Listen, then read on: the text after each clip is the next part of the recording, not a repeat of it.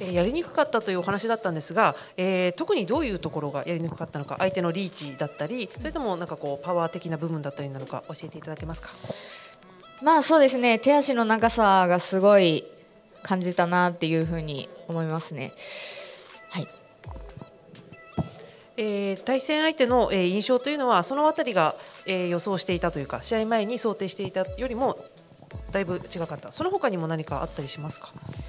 そうですね。想像してたより、まあ、やりづらかったのと久しぶりにちょっと私自身もパンチ効いたなっていうふうに思う部分もあったのでそうですね。本当に本当に勉強になったなというか、はい。